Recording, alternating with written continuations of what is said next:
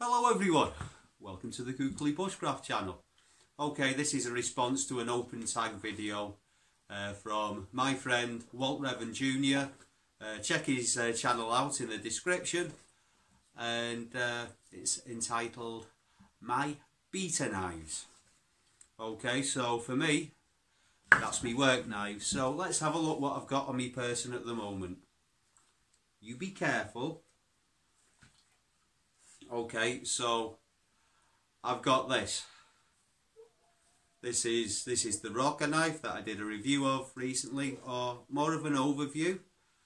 I'm carrying this to work with me because basically I'm testing it, uh, and I want to get as much use as possible out of it before I do a full review. But uh, I'm not using it for all of the rough stuff, so this isn't a beater knife.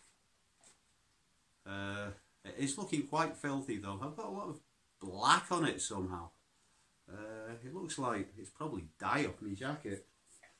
Uh, yeah, so uh, Hultafors. So what I use every day, and I really, really do knock about, and they take it is Hultafors.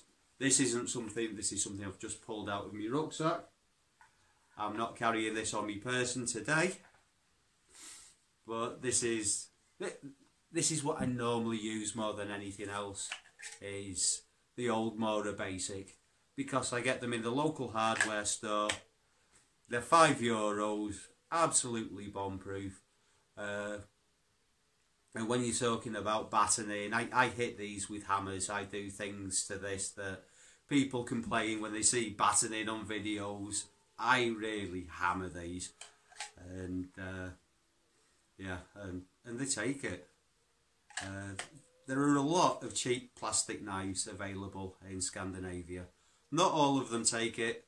Morakniv, Mora knives take it. The classics are more delicate, so be gentle with the classics. I I haven't broken one, but I've seen it happen. But Hultafors, Mora, great knives. Uh, you'll see what I what I do to all of my knives, including including this one. All of my work knives, that is, is I tape a pencil off. You know, because the uh, the three things that I need the most uh, is tape measure, which clips on my belt anyway, pencil, knife. Uh, everything else I do with power tools. So you know I can't exactly fit a uh, a chainsaw on me belt. So yeah, great knives. If you're looking for a bushcraft knife, uh, perfect. Know you don't really need anything anything better than this. They haven't got a 90 degree spine. Uh, all of mine, because I do use them for bushcraft too, all of mine quickly on the belt sander and 90 degrees. It's a matter of seconds if you've got a belt sander. A lot longer if you've got a file. I generally sharpen these on a belt sander as well. Uh, it's not it's not the best. I sharpen them at home as well on stones and on a strop.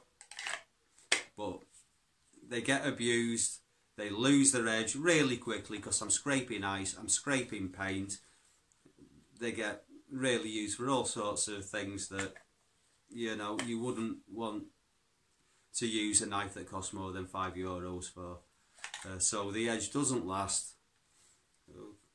Yeah, a quick pass over the belt sander and uh, at least usable again. So this one really needs some attention, but you know it still cuts wood, which is all I really need it to do. yeah, wood, rope. Uh, so, in addition to that, I generally have a folder in my pocket.